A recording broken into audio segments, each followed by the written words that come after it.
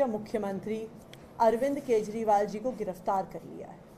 लेकिन आज अरविंद केजरीवाल जी की तरफ़ से मैं सभी दिल्ली वासियों को ये भरोसा दिलाना चाहती हूँ कि चाहे अरविंद केजरीवाल जी गिरफ़्तार हो गए हैं, चाहे अरविंद केजरीवाल जी आज केंद्र सरकार की ईडी की हिरासत में हैं, लेकिन दिल्ली वालों का कोई भी काम नहीं रुकेगा। दिल्ली वालों का लगातार काम होता रहेगा।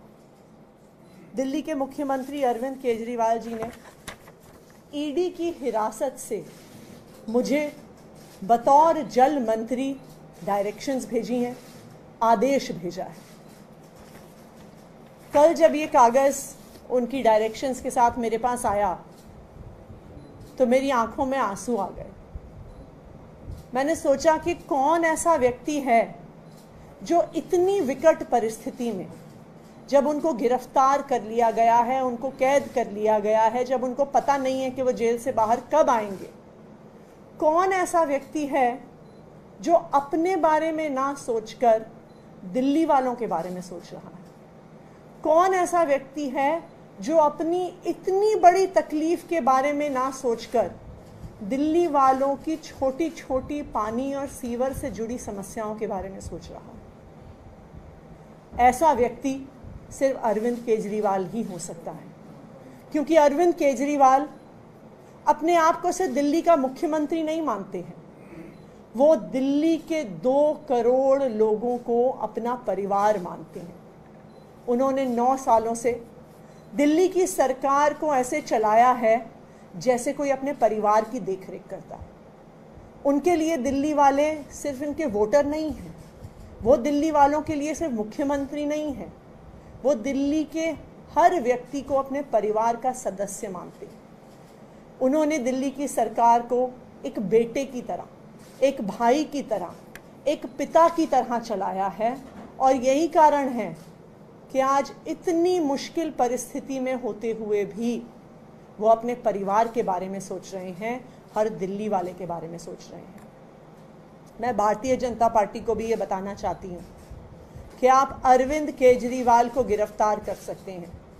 आप अरविंद केजरीवाल को जेल में डाल सकते हैं, लेकिन जो अरविंद केजरीवाल का दिल्ली वालों से प्यार है, जो अरविंद केजरीवाल का दिल्ली वालों के प्रति ज़िम्मेदारी का भाव है, आप उसे कैद नहीं कर सकते, उनके दिल्ली वालों के प्रति समर्पण को कैद नहीं कर सकते। तो अरविंद केजरीवाल जी ने बतौर जल मंत्री मुझे अपनी ईडी कस्टडी से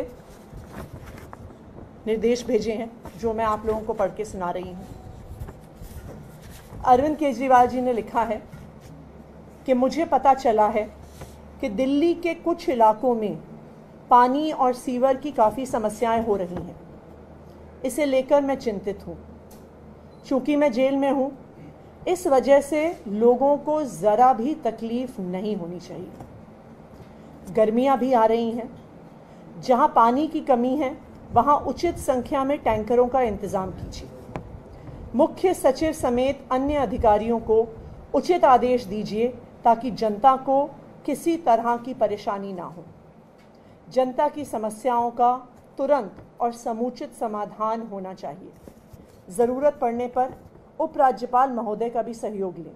वे भी आपकी ज़रूर मदद करेंगे। अरविंद केजरीवाल।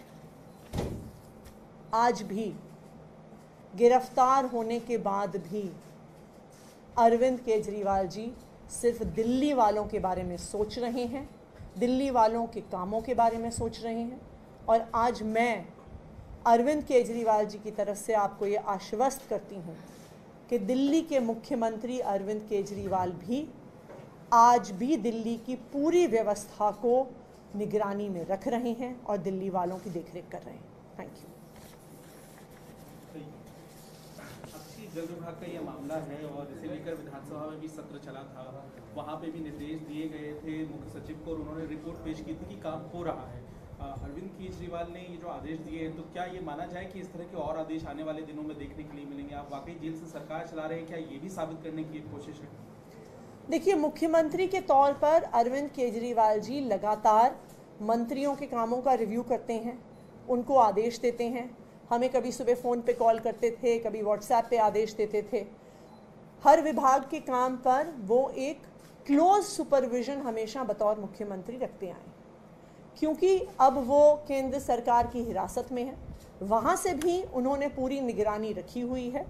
और क्योंकि पानी की समस्या गर्मियों में एक बड़ी समस्या हो सकती है, क्योंकि पानी की समस्या पर लगातार प्रॉब्लम चल भी रही थी।